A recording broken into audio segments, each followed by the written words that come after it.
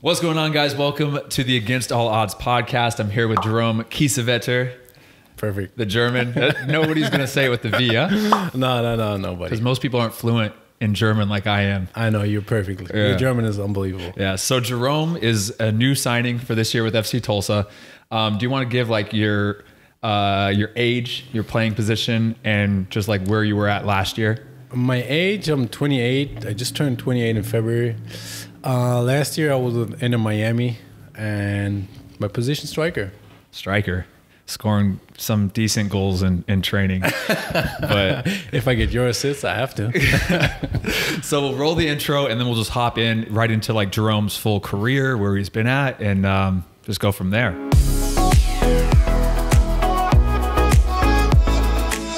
Okay, so I like to do these like podcasts by just starting back from like where you were born, and then we're just gonna go throughout like your youth career and kind of just go from like step to step to step, team to team until we get to like now, you know, and just kind of talk about stories from along the way. So, um, where were you born? I was born in Berlin, Germany. Born and raised there. Um, my mother's German. My dad is American. They both met, uh, met each other when um, American soldiers came to the to Germany um, a while ago, 28 years ago. And uh, my dad went back to the states. He lives in Austin now, and my mother's still in Berlin, Germany.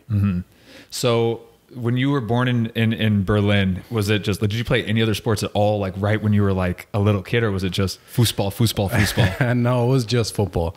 Yeah. Um, or soccer, as Americans say. Um, that's all. I mean, that's the European culture. You just go and um, play soccer because everybody does it. Everybody, all of your friends play. Um, to that, that was the only sport for me. I was because I was pretty fast. I did some track, but sooner or later I had to decide when I um, grew a little bit because the training just it would I couldn't do it anymore. Um, and I decided to stick with with uh, football, and that was my my number one love, and I think I made a decent choice. yeah, good. Uh, what, what events did you when you ran track? Um, it, it was called the E stuff. So I think it was before it was in the Olympic Stadium. Um, I became Berlin, my age group, uh, champion of Berlin, and then I did the Germany final, and I think I became seventh or so. Out of all of Germany. Yeah, For your I age was, group? Yeah, I was I was pretty pretty Damn. pretty okay. Um, but you know, we we're not doing we're not too fast in Germany. So uh, in a, in the worldwide standard, I'm probably not as good as other Mm-hmm. people. So um, yeah, but I still loved soccer or football more, and I, I just said no, I, I'll I'll keep on playing. Yeah, and so you must have slowed down a lot because I haven't seen any. I haven't seen any burst of speed lately. Yeah, I think um, uh, something happened after that training. Um, I just stick with my speed from that on, from my early age on. Yeah. but it's still enough for you. And do you have any brothers or sisters? Um, yeah, I have two sisters in Austin, one brother, and another sister in Germany.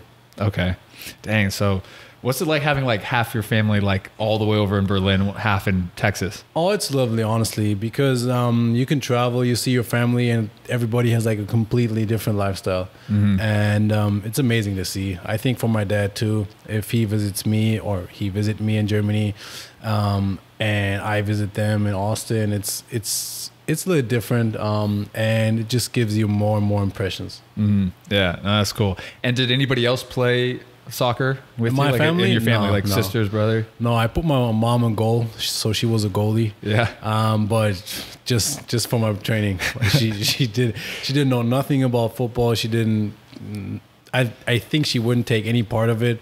But I asked her to go and goal because I needed somebody to shoot on. Mm. You still do that in off season now?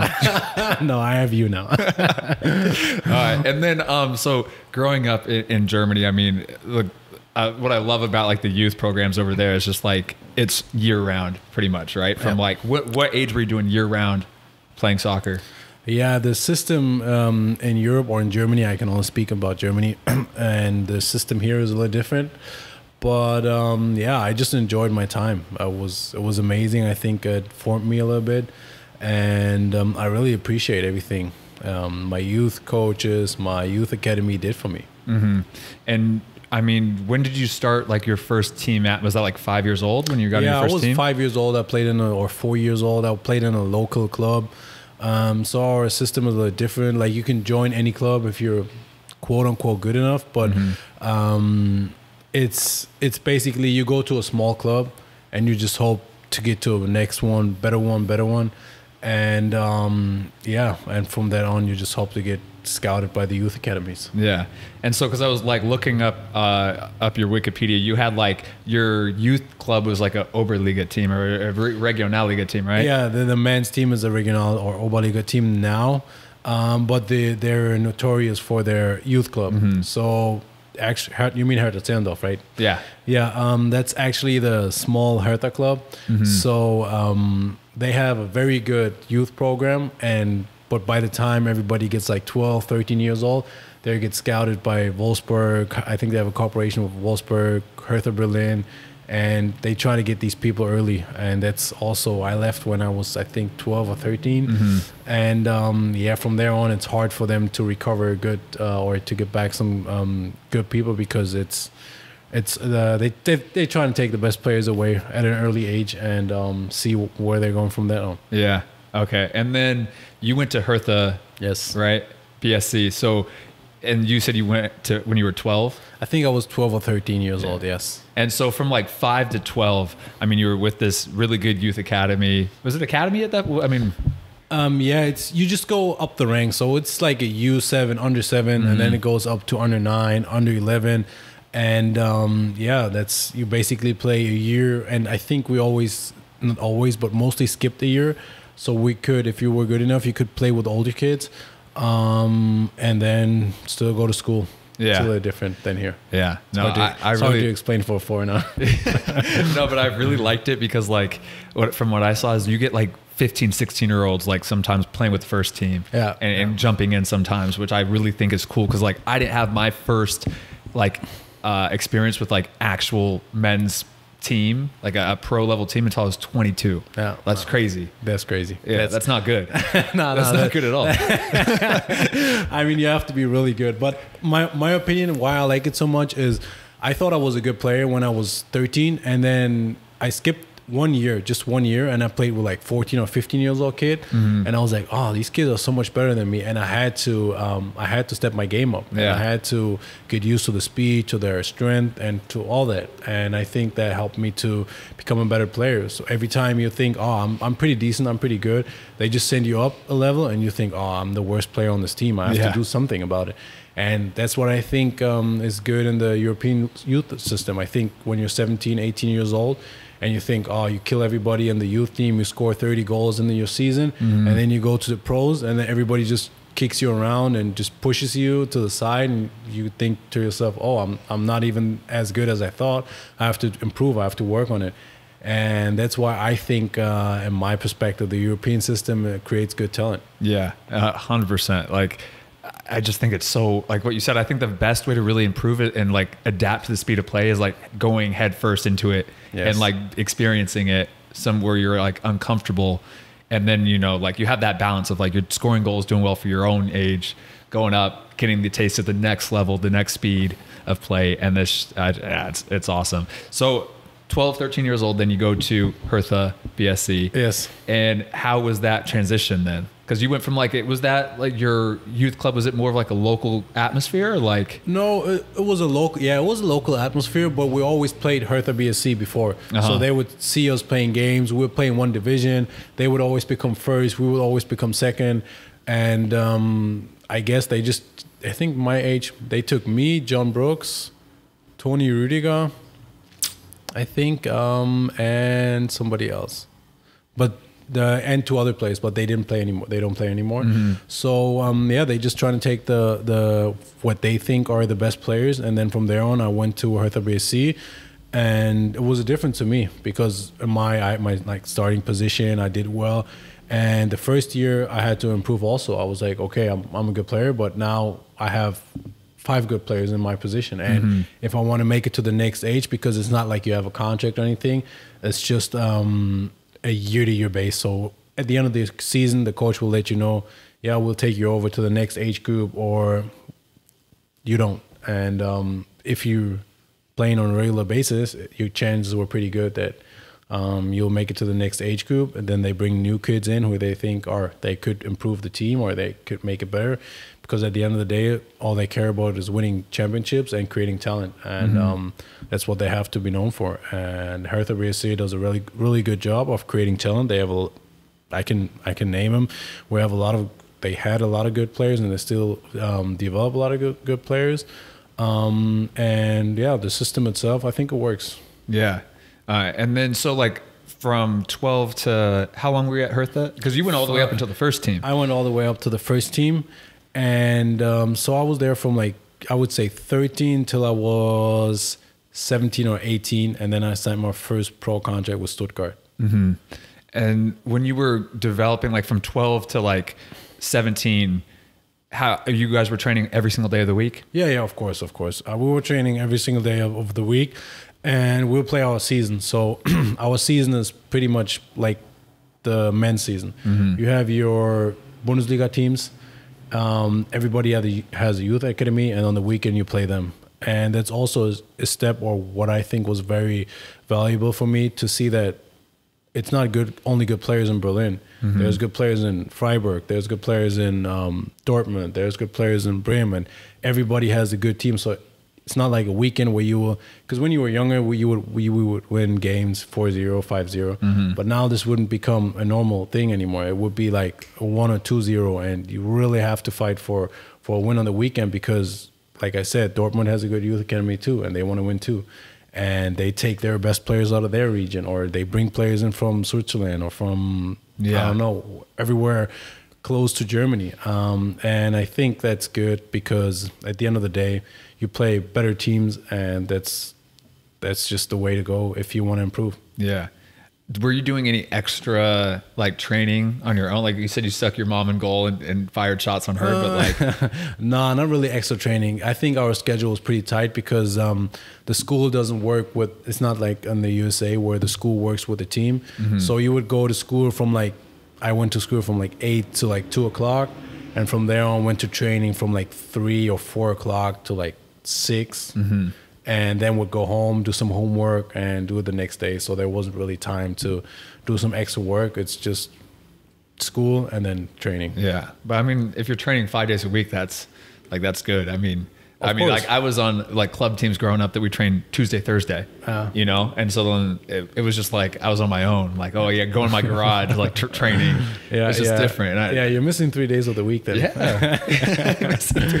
You have to keep up with them now. Uh huh. So, um, when you got to the first team and you made your like started training with the first team of Hertha BSC, how was like that? You were 17, you said. Yeah, I was 17. And how was that now playing with full grown men and at, at 17? How was your transition? that was also a big difference because you think, um, you, like I said, you think you're a good player in the youth academy, but then they have grown men playing against you, and it's it's a completely different level. And what I also think that you know these these are experienced men, and it's like a job. So at the youth level, you still have your kind of like I would say friends and your your relationships.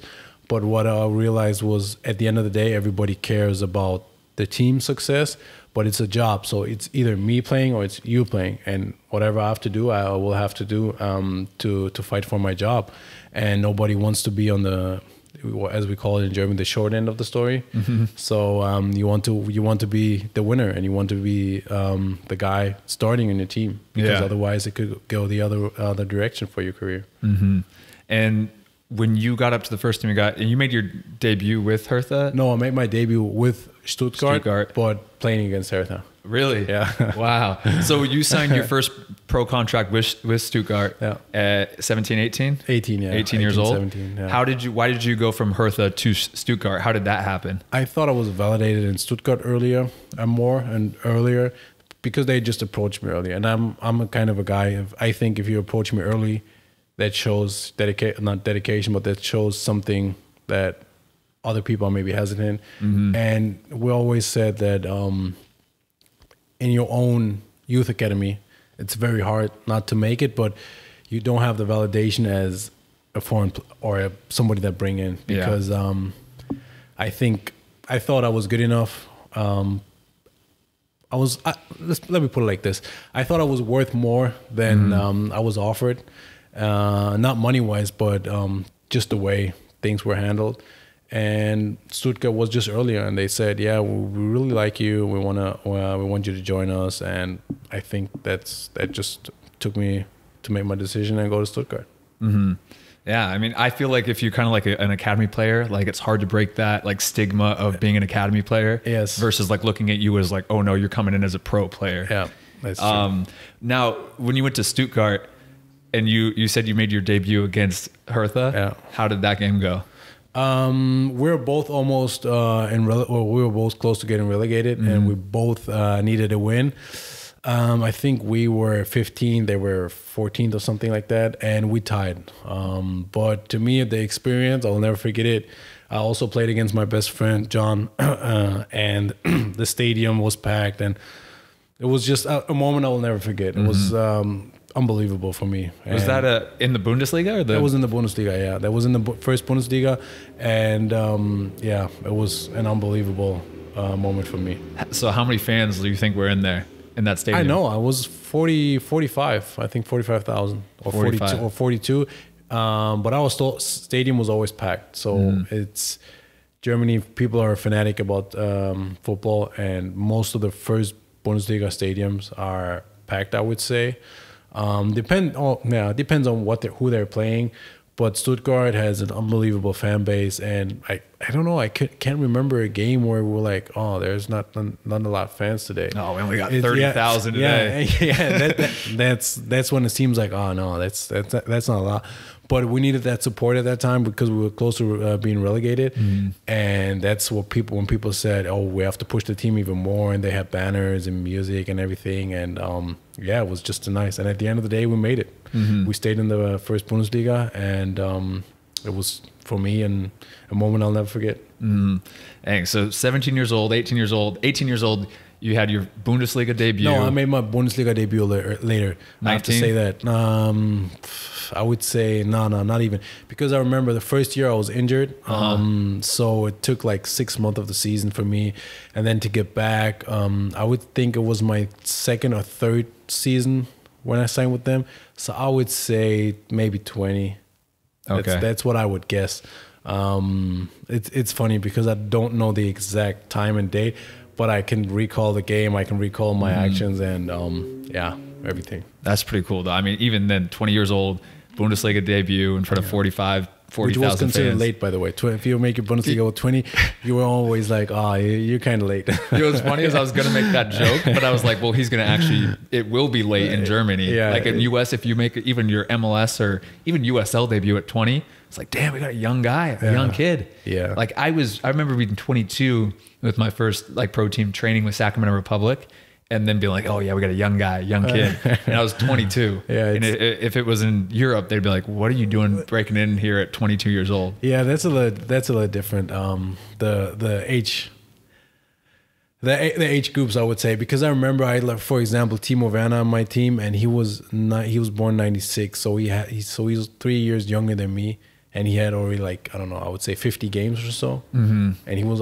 only seventeen. I mean he has a great career. He plays at Chelsea now, but that's like seventeen is the age where you say oh okay is he going there or is he going there? Did you ever think because you were a little bit late, like not getting your debut until you 20, like did you ever think like, like 18, 19, they're like, oh, you know what, maybe it's not going to pan out. Maybe I should go do something else. Um, no, not really, because I really liked it, and I thought if I don't make it in the first division, I will try my best in the second or 3rd because I just like the sport. I just like to compete. I just like playing soccer, and um, yeah, and I, I, I don't think I would just judge it on base it on that like um that type of thing that I would say okay because I didn't make it when I was 17, 18, I had a I had a bad career.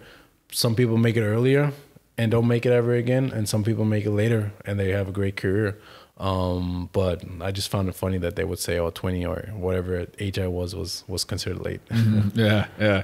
And then like, I mean, were you living at 20 years old, 19 years old, where you had, did you have your own place in Stuttgart or? Yes, yes. I had my own place in Stuttgart. I moved out of my mom's apartment in Berlin when I signed with Stuttgart. So when I was 17, 18, um, yeah, it was it was not a mess, but it was it was a different. Did- Were you by yourself? Did you have a roommate? No, no, I was by myself. I was by myself. you're I- the, the roommate thing is only an American thing. I I think um, a lot of um, I would love. I had a roommate once, but just because we were very close and really good friends on my Yeah. team. Um, but I don't. I can't even name you one guy that had a roommate in my whole professional or in my whole career when I was younger. Mm-hmm. It's either you live in the youth academy because you can you can stay in the club. Um, it's called internat um, and they have uh, one bedroom for you for every player, and you can stay there. But it's mostly for guys who come out from Austria, Switzerland. They're not born in um, in in the city the the club the clubs are in, but um, mostly people would have their own apartments and stuff. Yeah, So how was having your own apartment at 17, cooking for yourself, doing all that stuff? You adapt fine or? Um, not really. I would. Ha- um, I, if I'm being being honest, I had my my my doubts, my my my troubles. Um, I think I could have done things a little differently back then, but you're young and you don't really know. Nobody's holding holding you accountable. Yeah. There's nobody looking over saying, "Hey, clean this up, do this, go to bed early." It's just like you you living your dream. I think I all I cared about was like going and training, and I forgot like the what it takes to um, to even like make it because I could have more sleep. I could eat better, but when you're young, you don't care about that. You think, and your body takes it. So you think, oh, you, I'm I'm going to training tomorrow, nine o'clock. I'll be good. If if I stay up till I don't know one or two o'clock, my body will take it. It's fine. Um, but at the end of the day, it's uh, I should realize it earlier that it was a profession and that it's a job. But I think uh, after a year, I, I, I did pretty well. I adjusted and I knew what uh, I would have to change.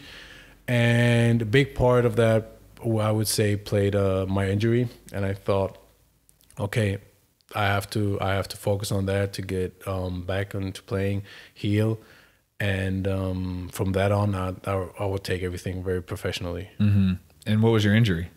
Uh, I had a like stress fracture in my shin, and they didn't know what it was, and they couldn't figure it out. And I came back to training after two or three weeks, was out again because it was too painful, and then tried it again, and then they said, okay, well we'll do, for a month you won't do anything, um, you'll just work in the gym, and then we'll see how it how it ends up, um, how the bone recovers. And luckily, after a couple couple months, I was able to to get back on the training field and, and work. Dang. So it was like four months or how long? Yeah, it was like a four month where I would only be allowed in the gym, and then for you to get your fitness and everything back, then I was training with just a like trainer. I would say for a month or two. Oh, I would say a month, and then just to get back into game rhythm, the year was al- almost done, and I was like, I'll just focus on next year because um, that's not that's not a big difference. If I make one game or the final game and something happens again, I'll just focus on the next year. Yeah. Dang. Yeah. I mean, the thing with stress fractures, though, it's like, I feel like you really can't do much to prevent it. You know, it just happens sometimes. No, I, I think um, I also made a mistake when I was uh, with Hertha because I was training with the pros. I was playing with the second team. And because I was so young, I could also play with the U19. And we were in the um, DFB Pokal, which Yeah. is like the cup game here. Uh, for the U19s, we have that in every uh, youth group.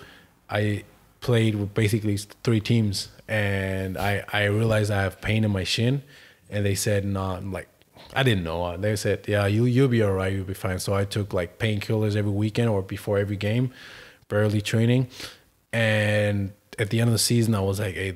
Because it was only I think one or two months left, and I was like, I'll just go through it and then see in the off season, and then see uh, when it gets better but uh, my my off season was just too short. It was like two or three weeks, and when I get back got, back to training, I was like, oh okay, everything will be fine. And I noticed I was like, oh nothing changed. It still hurts the same thing, uh, uh, as bad as it was before. And um, they realized I had a like a fracture fracture in my shin, and I have to go out. And that's that was not a good start to to join a team actually. Yeah. And I also had uh, troubles with that, but it was fine. It was all good after a year. So you're with uh, Stuttgart for three, four years? Four years. I signed with four years. Um, after my injury, I was on loan for like six months uh, to get back in game shape and, and with my ex club Hertha Berlin, the second team, and um, so three and a half years with them actually, and half year on loan. Uh huh. How was uh like when you signed that contract? and It's a four year contract. Like, what was going through your head at that time? Like, were you thinking like, oh, I, I made it, like I got it? Were you thinking like, oh, it's just four years, or did you think like, oh, I have tons of time, or or what? No, um, I was happy at first because my my dream was to sign a pro deal, but um, the pro deal honestly is is worth nothing when you're not playing. Yeah. um, because you can have an youth deal and be more successful with the pros and have a better standing than um, the the pro deal. I think you just have to prove yourself, and um, but to sign that contract was like oh, uh, I fulfilled I fulfilled my dream, but more important was for me to train with actual pros. So I remember the first time I was training with the Hertha pros. Um, I was like, oh, this is. I actually play with the uh, players that I've seen on TV that I've dreamed to be, and hopefully I was playing the stadium that I watched games in. I remember we could be ball boys, and we would have to chase the balls and give them to the players, and we're like, oh my god, we're so close to action. Hopefully, in three, four years, we can be that guy and ask for the ball. Um, yeah, it was just a lovely experience. That's awesome. And then um, after Stuttgart, after the four year contract, then you went to Fortuna, right? Düsseldorf, yeah. I How was Dusseldorf? It was nice too. I loved it there. The city is very, very good. The fan base is unbelievable. We had a we had two very I wouldn't say great, but interesting years. So in the first year, we did really well in the first half of the season. We all think nothing is going happen going to happen. We couldn't go up uh, and get promoted because we were too far away. Uh, but we couldn't get relegated. But then all of a sudden we lose a couple of games and we were in relegation zone all of a sudden, five or six or whatever, seven games before the season ends. And then when everybody realized and we were like, oh, we we can go to third division. It's that's not our mission this year. And um, yeah, at the end of the season, I had a goal and assist late. I, I won't forget that too, because um, that kept us also in the in the second division. And from that on, we just had one more game left. We won that game, and we stayed in the league. And um, yeah, I was pretty happy. I I had a decent season. Um, and yeah, everything went well. We stayed in the league, and then the second year we got promoted. So it was just from almost going to third league to going to the Bundesliga was, was an interesting two years. hmm That's that's pretty cool.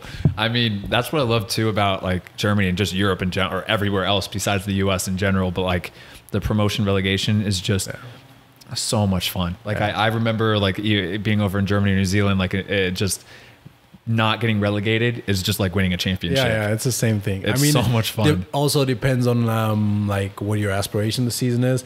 But if you're if you're a team that fights for um, not getting relegated and you actually made it, it's like for Bayern Munich winning the Mm-hmm. winning the title or the the cup or whatever. It's the same thing because that's the goal you have to achieve at the end of the season. And um, yeah, I, I also said that I want to play. It sounds stupid, but I want to play against relegation one year to just see and have the pressure and see how it is, because there were times where it got really tough. I remember in Stuttgart, we would have to talk to the fans and stuff like this, and you could actually see how important the club is for a mm-hmm. fan. Like for us players, yeah, we know it's important, the fans, and we love the sport too. But in Germany, I felt like this meant so much for the people that would come up after our games, two, three o'clock in the morning. Everybody was exhausted, and we would have to talk to the fans and explain to them why did we lose, why didn't we put on all the effort, and we we're like, hey, these people really care about their club, and that's some things you can't. You don't have when there is no relegation because Yeah. you just think fans just come there to watch games and be entertained and just chill and have a good time. But for them, it's like a mentality. I remember seeing fans with tattoos of the symbol and like uh, everything on their on their head, on their neck, and I'm like, hey, they take this thing so serious. And um, if you actually talk to them, great people. I, I can't say anything about bad bad about them. They just have this passionate about this passion about this club, and they this will never go away. Yeah, I mean, I, even if I'd spent s- six months with the club in the Verbandsliga, hmm. and like the just like the, I mean, we had fifty people at games, but there was like even those guys who just love the club. Like they would come to the road games and, and just like, I mean, we would win, and when we uh, were fighting relegation, same thing, just so passionate. It was just amazing. Yeah, it makes m- winning more fun, but losing can be can be hard. It's harder, too. yeah. yeah. because then you feel like you disappointed some. It's like almost disappointing like a parent. Like you Yeah. feel so bad when you're losing and you're trying as hard as you can, and they're just disappointed in you. Yes, yes. Um, and they will call you call you out and call you some Mm-hmm. names. But that's that's uh, that's part of the business. Uh, I mean, I love Arsenal watching Ar- Arsenal, and um, to me, sometimes it hurts too when they lose. Yeah, and then uh, like I, even New Zealand, like talking about that, like when I joined that club when I was in New Zealand, they were like, "Look, like we're our only goal is not to get relegated." They just had gotten promoted, and like, "Our only goal is not to get relegated." So it was kind of like that pressure of that, and then at the end of the season, we didn't. We were like had a game in hand still, and we just didn't get relegated. Pop in the bottle in the locker room, and you're in like tenth place. Yeah, but it's it's funny. It's it's it's a lot of fun. That's true. Yeah, and then so with Fortuna Dusseldorf, you went from Bundesliga down to the second Bundesliga, right? Is that when you? Is that what happened? No, Düsseldorf. Um, we almost went from we were in the second league, Mm-hmm. so we almost went to the third league, but we made it. We stayed in the uh, second division, and then next year we got promoted to the first division. Yeah. and I think last year they went down, so they stayed there in three three years, I think. Mm-hmm. That's And pretty then- good. then- yeah, it's pretty good. It was a small club. They don't have um, like the mm, financial power as Dortmund or these other clubs, but for us it was a great achievement, great stadium. I mean, it was, and because we didn't get, um, we were so close to being relegated the the year before. Nobody expected us to do anything. Yeah. So we, for us, it was just like, guys, let's just have a less stressful year than last year, and just stay in the league. But all of a sudden, we end up like we have a run. We end up being first, and then we said, oh, half of the year would probably we because we did this before. We said, uh, we, we're first now, but I guarantee you. a Couple more games, and then all of a sudden we like seven, eight, or whatever, and we kept on being first, and then sometimes second, first, second, first. But the closer we got to the end, we realized, hey, we can really make it and be back in the Bundesliga. And um, yeah, and then we ended up winning our last game against I think the rival Nuremberg or, or the, the second place, and then it was clear that we will finish the season first. Wow. And I, I love the German mentality of like, uh, uh, if being like, oh yeah, but realistically, we'll probably be like seventh. Like that's so German to me. It- that's super German. That's a German thing. We're, we're very pessimistic sometimes. I remember I remember being on my team and we were playing the first place team and I was like in the locker room like Weiter Jungs like come on we can do this and they're like oh they're first place like be realistic like it's gonna be a tough game Yeah. we probably won't win I'm like who goes into a game like that An American you're just like oh we can win no matter what underdog story it's just it's it's pretty funny that yeah, you, that's you true. said That's that true. German people are very realistic. um, and then so walk me through the goal that you did that with Dusseldorf, where you basically helped your team not get relegated that first year, right? yeah. What? so- How'd you score it? What was, was that the best goal that you've scored? Like most emotional, you think? Yeah, I would say one of the yeah, most emotional. I would probably think that was my most emotional goal Mm-hmm. because um so we were I think 17th place. 17th I think we were. And so number 18 and 17 goes directly down to the third division. Number 16 goes to um a playoff game Mm-hmm. with the third division third place. So we lost a couple games in a row, and he had to make some changes. I think some guys were injured, and I used to be a winger. I don't. I don't that's why I'm I te- I'm teaching you crosses. um, I used to play on the wing all my time in Germany. Um, just sometimes when we had problems, I would play up top, but mostly my position was on the wing. And he made some changes, and I made my uh, first start in like a month or so. Um, and he said, "Yeah, it's, it's. I had to make some changes. I did. I did well in practice. Um, you will start." And I was like, "Oh, this is a, a moment that could go either we're going down or uh, it goes it goes the other way." And I think early in the game, it was before. No, I remember before the game, it was raining. I think they had to delay the game for like 10 minutes because the rain was so insane that we were like, oh, this this is a perfect day, um, and it was just raining so bad, and um, it was so wet that people would slip all the time. I remember f- I scored in like the 15th minute or so, or maybe a little later. Um, it was just a through ball from the midfield. The goalkeeper comes out. I curve the goalkeeper, go by him. Somebody runs on the line, and I'll just put it like above his his head, and he couldn't he couldn't clear it. Um, we go up 1-0. Then we score again. We go up, I think 2-0. They score right before halftime, so it's 2-1, and it's also Nuremberg. And then it's 2-2 in the 85th minute or so. And then I had a corner. Yeah, because I was taking corner kicks. I know he had, he changed a lot that time, and he was like, "Yeah, you'll take corner kick, corner kicks," and I was like, oh, "Okay, I guess, I guess so." And then I had a corner kick, and um, my my other very very close friend Alexander Madlung, he headed into a goal in like the 94th minute or so, and we were all running towards the the the what do you say the corner, and we're just celebrating. We we're like, "Hey, we just have to maintain this." Three two league for another one one minute, one and a half, and then the chances might be we won't get relegated are pretty high because nobody expected us to win because they were first or Yeah. second, and they were fighting for promotion, and um, they needed the win, and we needed it too. And then it was an away game, and we had so many fans with us too. I think four thousand or five thousand. I don't know. It was packed, um, and yeah, we end up winning this game, and we were all happy because the the other opponent opponents lost, and we made it from I think 17th to like 15th or so, and with one game left. Wow. So um, at the final game, we just needed a tie or the other team to not win the game, and um, yeah, we ended up winning our last game too. Dang, that's awesome. Yeah. that's that's pretty sick. Uh, and then, so what happened after um, your final year at Dusseldorf? You guys got promoted up to the first division. Yes. In the in Bundesliga, but you didn't stay with Dusseldorf, right? No, um, I stayed with uh, Dusseldorf that year too, but I didn't play so much at the end of the year. Um, I had some injury problems, and we had some great other guys. Um, I have to to admit that we had some great other guys that scored. I mean, we were winning, and for a coach, it's it's Yeah. never never time to change anything when you're winning, and I understood that. I mean, I probably don't have any good arguments if somebody's keep winning and scoring and doing their job. Um, so I didn't play a lot the the second part of the my second year, and um, yeah, from there on because I I wasn't playing so much, it was hard for me to to find a club that would work. Um, I want to do an experience um, outside of Germany, and I didn't really want to stay in Germany. Um, and from then on, I went to to Texas. Yeah.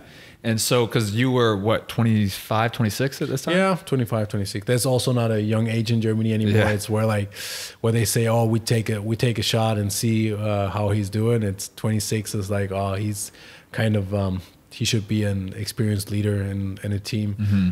And um, yeah, because I haven't played so much in the, it's always, "What did you do lately?"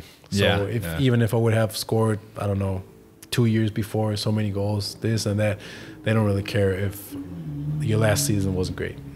That's what's something that's always crazy to me is like it is so much like what let's see a recent highlight video let's see what you've been doing lately because it's like eh, they your teams forget or coaches forget so quickly about you Yeah. because like even in like performing the USL for a couple of years I got injured went down to New Zealand and trying to hit back up these teams or go contact an agent to get into these teams and it's like well where have you been at lately down in New Zealand like we want to see you in the USL performing now and it was like a struggle to get back into the USL and I didn't even expect that Yeah, yeah, but it's tough That's true. Um, that's sport. I mean, sport can change.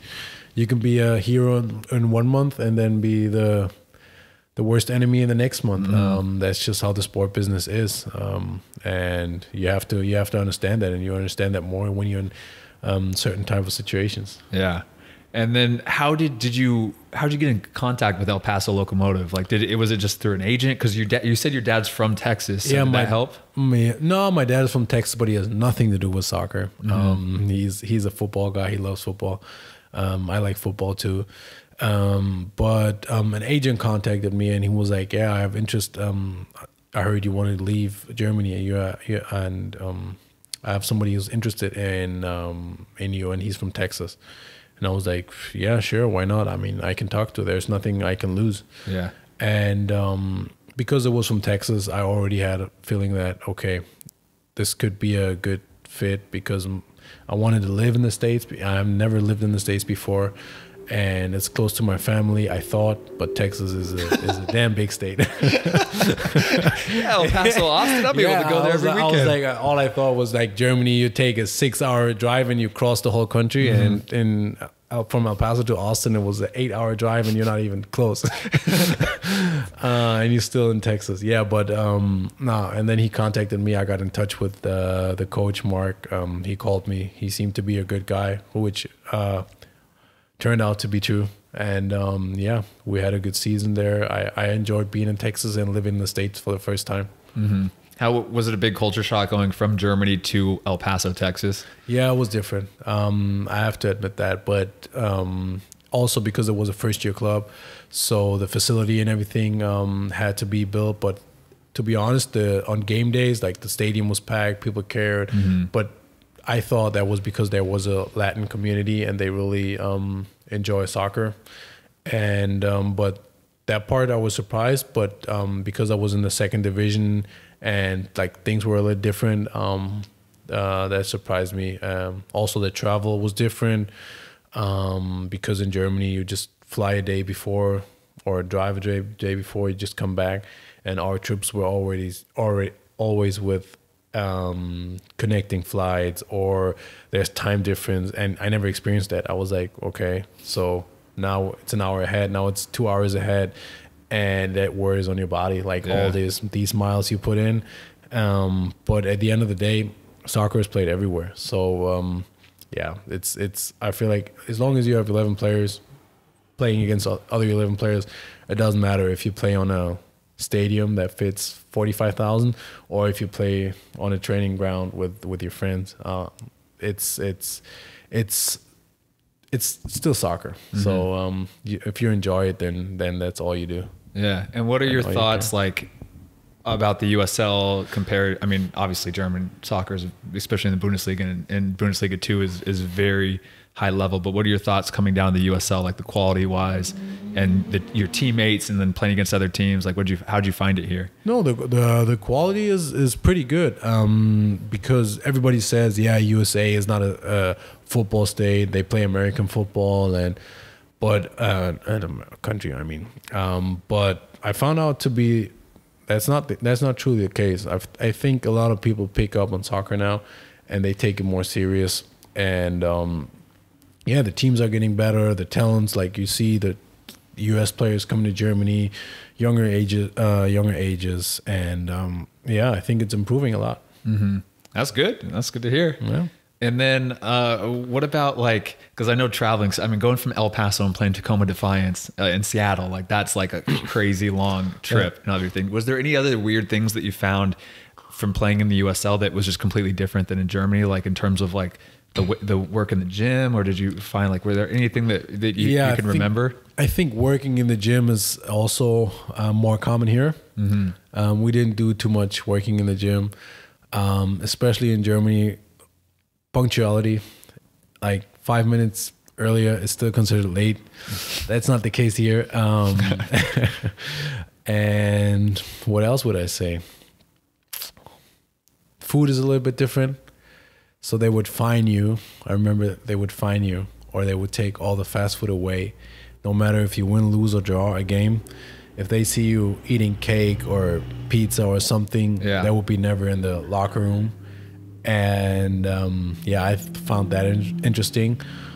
Um, that's about it, I would say. Yeah, I I was like I was just on trial with like a Regionalliga team, F, FK Pirmasens, Hmm. and like that was like one of my first trials when I was over there.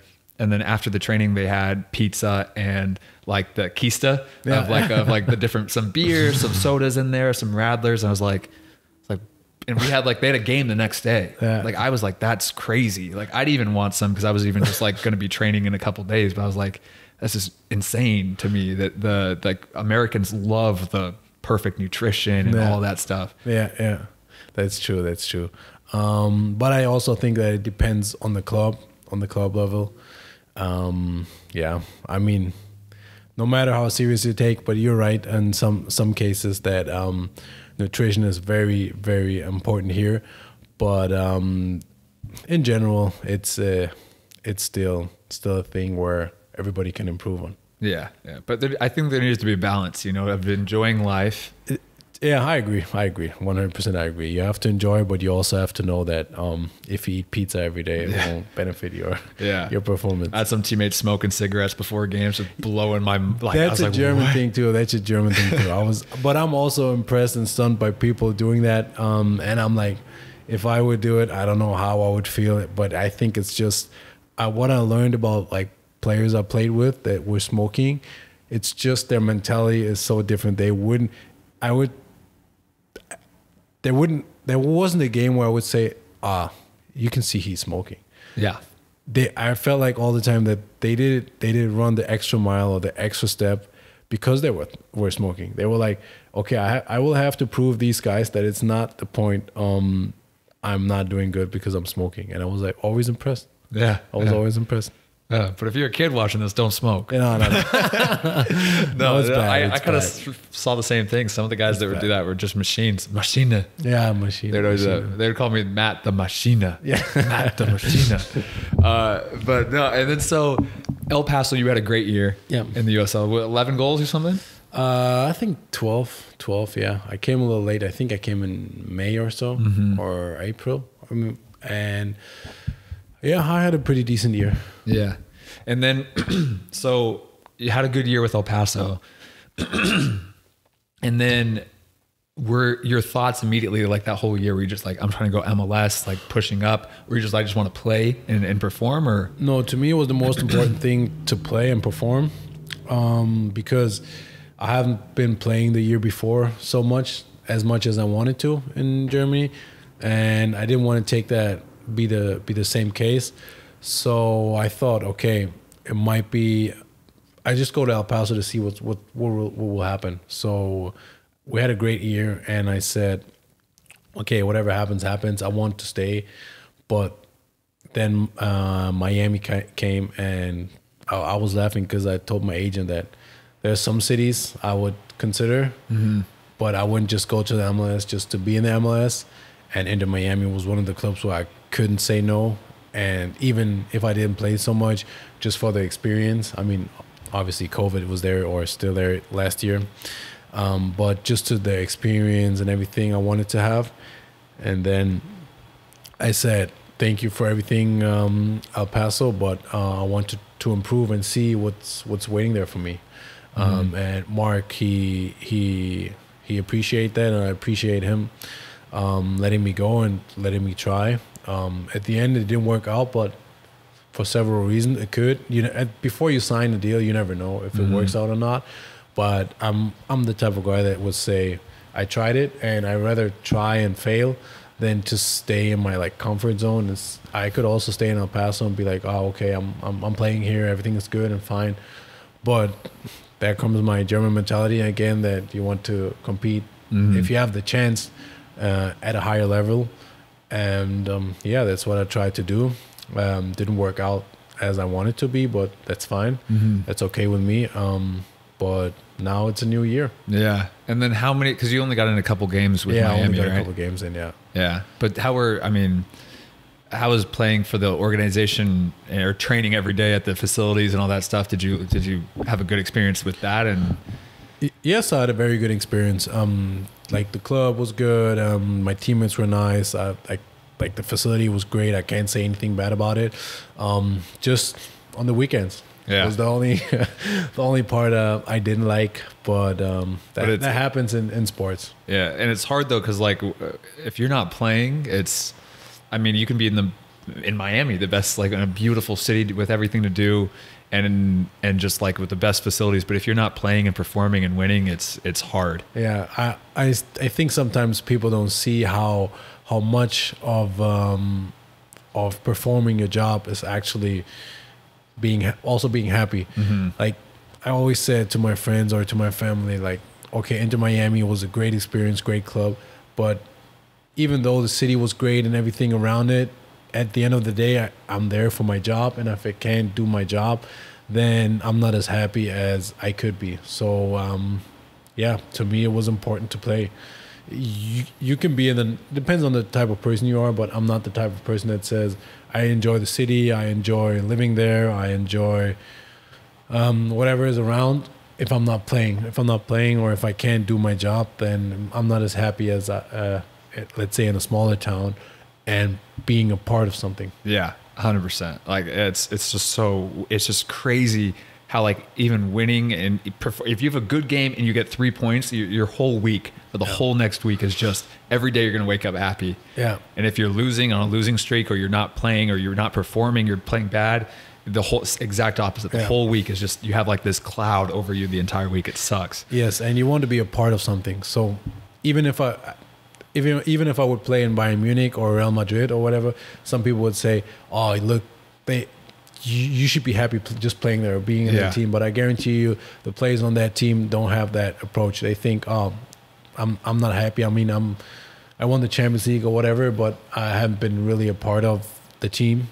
And um, yeah, that's that's the main the main thing for somebody who really loves or enjoys their job. I mean, some characters are different, but um, that's my character is I'd rather be be a part of something, um, quote unquote smaller, than to be a not be a part of something bigger. Mm-hmm. And then, so how did you end up after that season coming to Tulsa? Was it uh, through the agent or? Uh, yeah, through my agent and obviously Mike. Um, we played against him mm-hmm. uh, when I was with El Paso. Yeah, I think. Uh, yeah, I scored in both games. Yeah against you, us? Yeah, you didn't do your job. Was I in the game when you guys scored against us? Yeah, we won both. Uh, I'm trying to remember that 2019. It was one PK late oh, late night. Yeah, that was at our place, right? Yeah, in yeah, Tulsa. Yeah. yeah, late. But that yeah, PK and the other one was home through somebody's legs, left footed. Was it me? Post. I don't know. Nah, because if it was me, I, I would block that. Nah, I don't, I don't think so. I think it no, was. I'm gonna have to look at that game yeah, again. Go back to 2019. I, I, think it. I think it. Nah, it wasn't you. It was the center back. Um, the uh, tall, bald guy, black. What's his name? Cip, uh, Cyprian Hedrick, Milan Roberts. Yeah, one of them. One of them. Yeah, one of them. Uh, um, yeah, and then Mike approached me early. He talked to me, I think, in September or so. We were trying to get a um, a loan deal in, but obviously it didn't work out um, for whatever reason. Um, and then I said, okay, let's just wait for the next season and um, so strive for greatness there. no, um, yeah. And then, like I said before earlier, um, I love when somebody approaches me early because that mm-hmm. shows me uh, confidence and that somebody's really interested. And we had some some conversations, and they were great. Um, I think he's a great coach. He's doing a really good job, and he's young. And young people always uh, are very ambitious um, and goals and everything. And that's also what, uh, one thing I love about him. And I think we we have a great group together besides you. no, no, I'm joking. um, and um, I think we can we can do something. We can do something good this year. Mm. That's funny because off camera you were saying the exact opposite about uh, Mike. Yeah, I know. Not. hey, don't do me like that. no, no. It's, it's, so far it's been. I mean, we've uh, had three games in Texas, and it was a pretty crazy trip. But it seems like um, was a good core group of guys and I'm excited for this season. And then, yeah, um, but it's um, also preseason. Preseason, yeah. I give tough. you a story of my book. Um, one day, uh, last year I was, I think the one one of the best um, scorers in preseason, and I didn't score one one season goal. Really? Because I haven't been playing much. Mm-hmm. Nah, that's what I was playing for. Um, but preseason is always different than regular season. Also, I remember one year was uh, with Stuttgart where we played our final preseason game against Manchester City and we were beating them 4-1 we were killing them and we were like oh this season will be we will kill the whole league. We'll be even mm-hmm. better than Bayern Munich. What happens? We lose our first f- five games. We tie the sixth. We lose the seventh I think. Our coach gets fired and the whole city's burning. And we're in big trouble. And Manchester City wins I think eight games in a row. And then is unbeaten for like 15 or so. Mm-hmm. I, I I don't have the number, but I was just checking here and there, and I was like, oh, that was the team we just beat in preseason, but they just turned up and we went the other way. Yeah. Um, that's why I think um, preseason is important to get your fitness and everything. But at the at the at the end of the day, where the money is is in the regular season. Mm-hmm. And we haven't talked about it too, but you played, you got in caps with the U.S. men's national team. Yes. So- two, two games. Two games. I mean, do you want to talk a little bit about like playing with the youth like national team, and then your transition to the full men's national team, and why and why you chose the U.S. over versus Germany? Um, yeah, I mean, I was in the youth national team. They also approached me very early when I was like 16, 17, but I didn't have my passport then. So I would have to get my passport done and everything.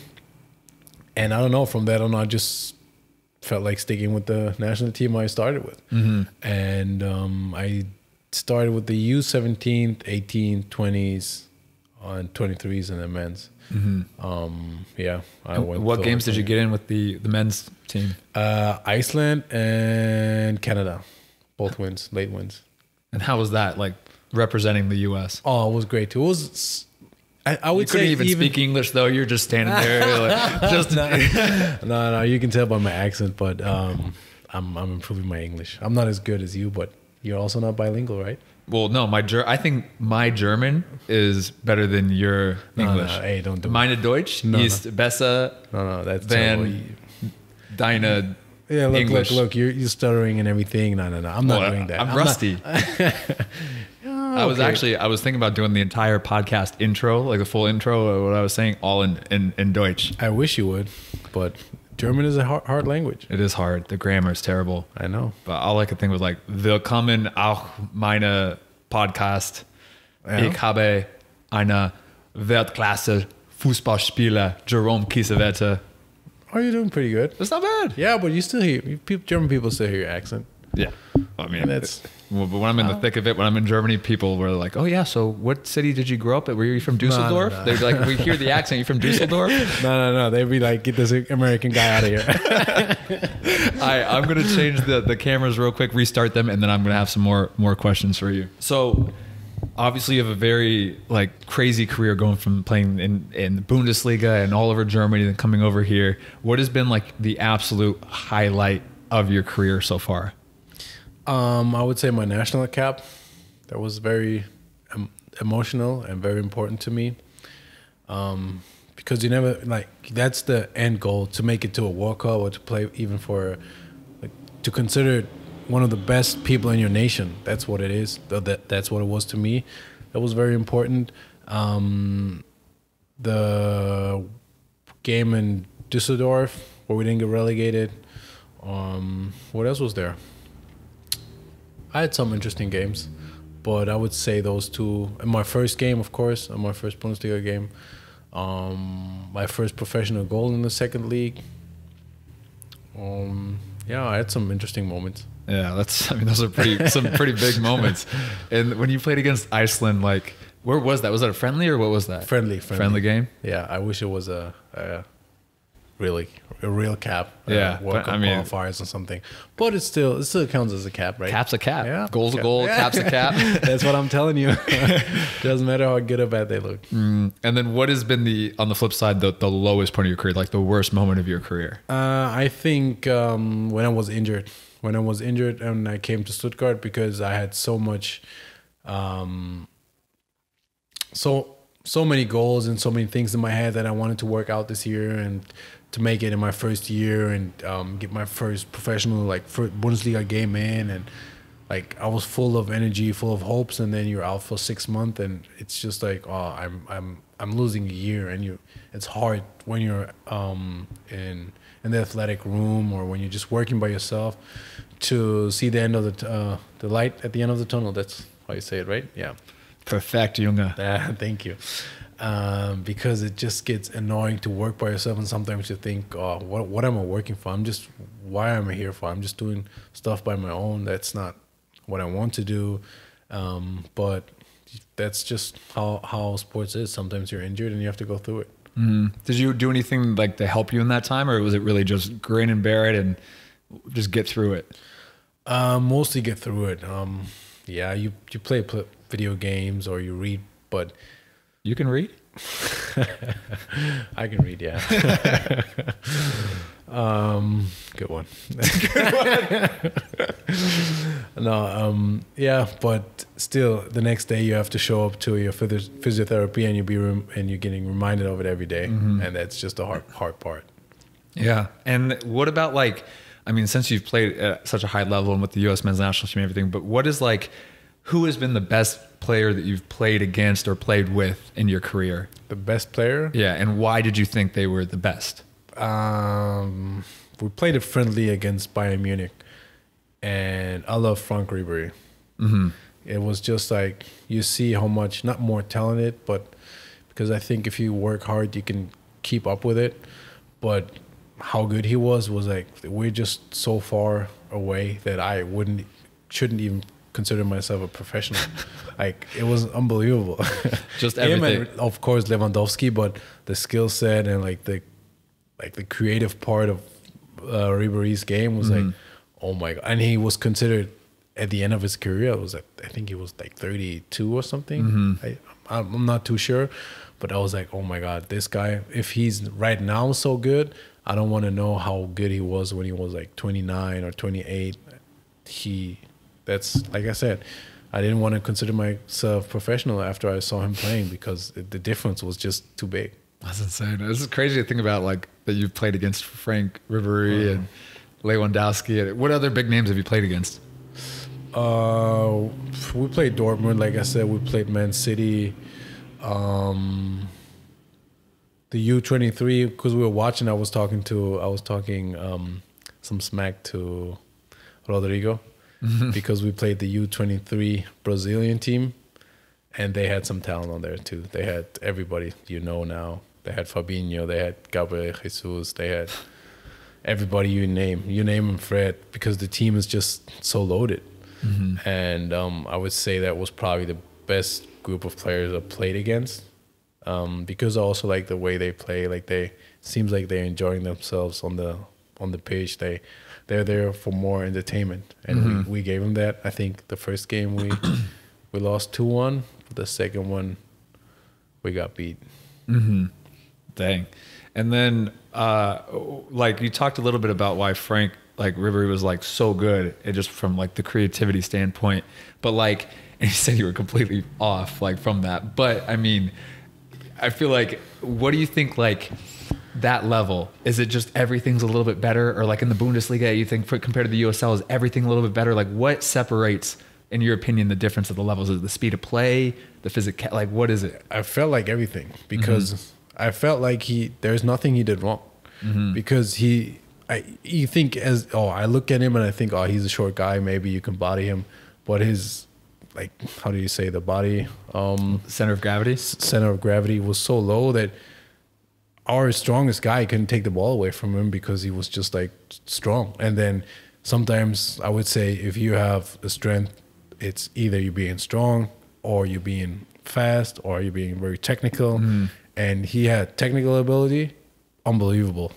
Like he was cutting people right and left. Then he was strong, and then he was fast. So he had everything that mm-hmm. you, if you write a book, you that's the abilities you want Yeah. and he had everything and it was like oh so is, how how can you beat him? Like how can you take the ball away from him? It's not working. Like we have to put on three or four guys for him to to to win it off him. And then they have another guy Lewandowski who if you have three guys on him then you need four guys on him. And that's the whole team. Mm-hmm. And I realized why those players are at a higher level or at that level. Um, because there's only a handful Yeah. that are that great. That's crazy. And then um, throughout your career too, like if you were to go back, if you could go back to sometime like talk to little Jerome, like at whatever age, when would you go back and what would you say to him? If I would go back, Yeah. um, And it, would you go back to a certain time? Would you go back to like 17 year old Jerome when he first got to Stuttgart or would you go back earlier or, or what? um, no, I would probably go back earlier when I was very young, and um, say to myself, "Good, you chose football." and not track. Just give him a pat on the back. Just uh, sometimes you have to compliment yourself. Um, n- no, but I mean, no, that's not. That's probably the only thing that I mean. At the end of the day, things can go left or things can go right. But I think every small decision you make um, can change your life completely. And I think that was one of my better decisions I made, if you can say that. Um, and um, yeah, because I was close to saying, ah, I'll go to track because I was good at track. But, um, and people would always, I remember, people would always say, what's the likely chance for you to be pro? It's, there is not, not even a, you won't make it. There is so many people playing soccer and there's no way you'll make it. And that's, that's like the constant um, phrase people would say. And that kind of stuck into my head. And I was like, hey, should I really do track and be good at something I don't enjoy, uh, don't enjoy as much as I do with uh, football? Or should I just stay and say, whatever happens, if I be a fifth division player, then I'll be a fifth division player. And if it, if not, then it's fine. But I think um, I was. You never should believe your doubters or people saying you just always should have to follow your heart because at the end of the day, I said I just like playing soccer more or football more than I do track, even though I was maybe considered better at track because I was earlier a higher um higher ranked. I was not ranked the seventh best player in in Germany, but in track I was. And um yeah, you should never just believe somebody saying to you, do this, do that. You just have to follow your heart. That's what I would always advise. Yeah, I like that. Um, that's true though. I mean, a lot of people always say that too. Like even like I dropped out of college, everyone's like, "What are you doing? Yeah. Like, why are you dropping out of college? So dumb." Yeah, Everything. yeah. But it's the same thing. I was like, "Well, I enjoy it more than I do going to school. Like I like it, but I just would rather play whatever level I can versus just Yeah, I think the just the perception like people wanted you to be like, you should never tell them what you like or tell them what maybe they like it. Maybe mm-hmm. they like going to college, maybe they like being a nurse, but that's not your thing. If it's not your thing, then I think you shouldn't just go that route. I think if you like being I don't know, if you like being out, outside and planting trees, then you should do that. And people would say, "Oh, why do you do that? That has no point and this and that." I think if you like it or love it or you really enjoy it, then you should just go and take this route. Mm-hmm. Yeah. And then what looking forward now, like what are your how long do you want to play for? And like I know it's so it's so hard. Everybody wants me to ask like what what's your goals or what's like where do you want to play next, but it's so much of it is is I think it's so hard to plan ahead as a footballer because you just never know and so many Yeah. things come up. I Yeah. mean, you could be in Tulsa for 5 years, you could immediately go off to MLS again or whatever, but like how long do you want to play for and and generally what are your goals? I think um, I want to play as long as my body says, "Hey, keep on playing." Um, I don't think there is a certain number. I mean, as long as I feel great, um, I would say I'm, I'm I'll keep on playing. If I don't enjoy it anymore, that's probably the point where I would say I, I have to leave it, and that's uh, that's the only point I would say I can see is being injured or yeah, that's the only part I'd say. Okay, it's it just too painful to play, or it doesn't make any sense anymore. But I don't see myself stopping any any anywhere soon. Uh, and my goals, like you said, I don't I'm I don't think you can plan not even year to year. Um, I just want to enjoy being here, being part, creating something, and um, from there on, we'll see what happens. Yeah. No, I think I mean that's what I always think of like focus on just the, this season, like perform, do everything you can to get on the field, perform, win, and then the better you do, the better you do now, everything else will take care of itself in the future, you know? Yeah. Whether that's because your agent or whatever, but um and then uh last thing so a lot of people, a lot of uh, younger players watch this that want to be in your shoes, playing pro, doing what you've done, having a cap for a national team. What is your advice for kids watching this right now? Um, And not my- just kids, but even 18, 20 year old players. my advice is just working hard and believing in yourself because I think that's the most the two most important things you can have. because um, you can be a good player, but if somebody's always doubting you and saying you can't do this and you can't, I know this. Sometimes it sucks in your head and you think maybe they're right, but that's not the the route you should go. Even if hundred people say are saying, yeah, you you will never make it there. You should always. There's always guys that are. I mean, I guess I'm taking them taking Cristiano Ronaldo for example. How many people probably told him that you're you won't never be the best player in the world. That's impossible. There's too many players playing football, but somebody has to be it. Mm-hmm. And I think it could it could be you. It could be that guy. They all we all started somewhere. And one great advice Jürgen Klinsmann had for me. That's a German saying. Everybody cooks with water. With water.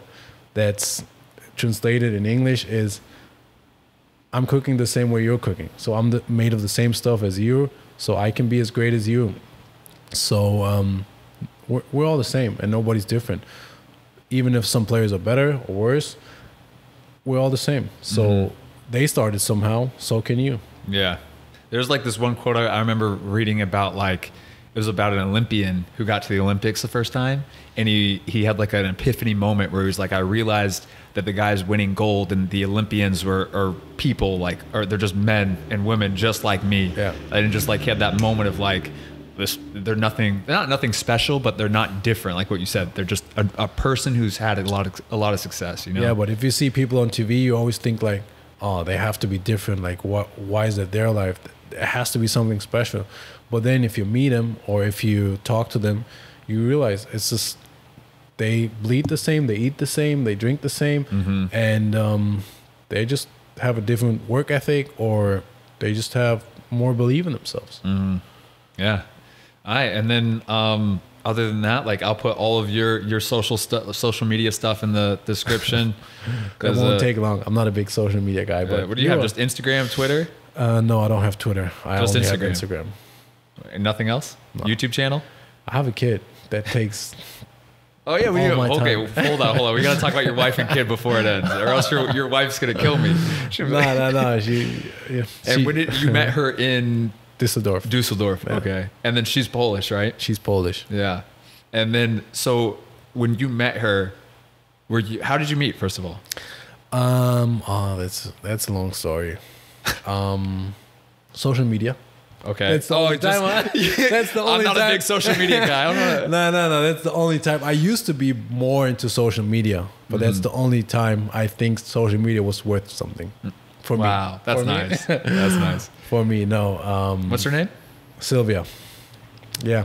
I just saw a picture of her. I don't know. I think it was yeah, it was Instagram. It was Instagram. I wasn't too much of an Instagram fan because I thought a lot of the things that were presented to me were like uh just pretending to be, you yeah. know? Um, when I joined Instagram, I was like, what is it good for? Somebody showed me money, cars, the perfect lifestyle, and I sit at home and I'm thinking to myself, why don't I have this? And I just felt like not miserable, but I was like, oh, look how great their life is, and not realizing how great mine is. Yeah. You know, I think that's some some problems Instagram have, uh, or social media in general. But um, the only good time I can say I, I was using it was when I met my wife. But I thought she was she had a fake profile. really? I texted a girl that I was for sure had a fake profile because she was uh, looking too good to be true. uh, and then I actually met her, and um, she showed up to the wrong spot, to the wrong place. So I was f- even, um, how can I say? It was even more possible that she was fake because she wasn't showing up. Uh, and I was like, oh, something is wrong. Somebody tricked me. What is it called in English? Cat, catfish? Catfish, yeah. yeah. I thought, ah, I got catfished. But no, then she said, I'm two streets away from you. And then I met her and then fell in love and the rest. Have a kid, happy happy marriage. Did you have your kid in El Paso? When did you have your kid? No, in Dusseldorf. In Dusseldorf? Yeah. Yeah. And how old is, is it's her, right? Is it she? Yeah, it's, it's a, she. It's a she. She's and two and a half. Two and a half? Yeah. How's it like being a father now? Oh, it's great. I love it. Is it hard That's bouncing the, around from place to place? Like you guys have been from Dusseldorf to El Paso. No, to, I, I actually enjoy it because my daughter sees so many perspectives. Mm-hmm. Like in Germany, for example, um, we were living, and she could see the difference of not not that she realizes, but also for us that there's a difference between living in different cities or different um, countries and I hope she appreciates it when she's older because um, I think if you're living in, for example, I don't know, Dubai, you probably have a different perspective of life than if you're living in Juarez. Definitely. Do you? Uh, is she gonna be a Fußballspieler? She's pretty good at it, uh, but I'll let her decide. If I'll, I'm not the type of parent that says because I want to, I'm a player, she has to be a one. Yeah. Um, she sees me doing it and she does everything I do. Uh, but if she wants to do MMA, go. She- You can do MMA. Uh, the only thing I want her to do is um, whatever sport she chooses, she has to be committed to Yeah. because I don't, uh, I don't think it's good if you change your mind every two weeks and say, "Oh, today I'm doing this, today I'm doing this." You have to find your, your, um, at whatever age it is, you have to find your your sport you like, and then just um, enjoy it and be committed. But I think as a parent, you could sometimes see if your kid Yeah. likes it or not, or is not really into it, and then has to try the next one until she finds something where she says, "Okay, I'm not." That's the same with with uh, me and, and soccer. I said all I do is I come home, I drop my back off, and mom, you don't see me until it's it's dark outside. And then she she thought I was crazy. She thought, what's wrong with this kid? Like, he has too much energy. But uh, Yeah. I just loved it so much. And for parents that have kids that really enjoy whatever gymnastic, whatever sport that is, um, it's hard hard to understand because Yeah. my mom wasn't a pro. Like my mom was working, um, and yeah, for her it wasn't. She she probably didn't understand why I'm outside all the time playing with my ball. Mm-hmm. Is, is how's uh how's Sylvia do with the moving around and like and just being married to a pro soccer she, player? She enjoys it too. So her story is also um, an interesting one because she moved to um, from Poland to Germany with a bag and said, "I want to try my luck in, in Germany and see Really? what yeah what Germany um, has for opportunity." Because she thought in Poland her opportunities weren't that great, and she fought her way through it. She was starting at McDonald's to work, and um, yeah, she got the next job and the next job, and she I really, really appreciate that and really, really respect that. Like she worked her way up, um, and now she's a great mother. Dang, that's crazy. Just going to Germany just with a bag. That's Yeah. something that like just Yeah, blows my mind. Like, yeah, so- leaving all your friends, family. Could she speak German when she, went there? She said she could speak German in her school, but it didn't help her at all. She Yeah. had to use her phone to translate everything. And I was like, how? Like, how did you came up with that idea? I'm because to me, it's I have my if I whenever I moved, I had my job already, and Yeah. I knew like something like I had my my setup. I would say like my environment, but I. I don't know if I could just go tomorrow and say, "Oh, I'm living in Cancun. I don't know Spanish, but I'm I'm moving to Cancun. Yeah. I think I think it's a good place to live, and I think just whatever. I will have my job there, and I really respect that. I said Yeah. to her, "It's that, that takes balls." it takes fall. It does. That's crazy. yeah, Like yeah, because I mean, even when I went at New Zealand uh, or to New Zealand or to Germany, same exact thing. I had in Germany, I didn't have a job lined up, but I still had uh, a German guy who was like, "I will figure out where you're gonna stay the first couple weeks. I'll figure out where you're gonna go. Like, I'll get the trial settled for you." It wasn't like, "Oh, I'm in Germany with a bag now. Let's go." yeah, yeah. It's uh, and I really respect everybody who does it. Like even if you come to the U.S. or go just go to a different country, different culture, and um, yeah, just to grind and and, and fight. That's crazy. And then, is there anything in the this that we've covered that like any funny story or, or that we haven't talked about, or any big thing that you would want to bring up that I haven't asked about? I, I don't think so. Um, I I'm pretty sure there are funny stories, but um, they don't pop up right now. Yeah. It's just um, I can tell you in training, whenever I have a funny story, I'll let you know. But Okay. um, there are if you go around certain pro teams, there there there are some funny stories you you witness. All right, awesome. Well, Jerome, thanks for being on the podcast. Appreciate it. And then uh, once again, we'll put all of his social media, which is just his Instagram, in the description for you guys to follow. And my and phone number. yeah, but uh, yeah, thanks thanks for being on the podcast. The first uh, teammate podcast of 2021. the first one? Yeah. Oh, okay. Hope hopefully not the last. No, We do another one at the end of the season and see whatever happened. Yeah. I'd be like, Jerome, so we're it's now October. you got zero goals. No, no, no. then you can rip off my contract. All right, awesome. All right, well, guys, subscribe if you haven't subscribed, like this video, and I'll catch you guys in the next podcast. Peace.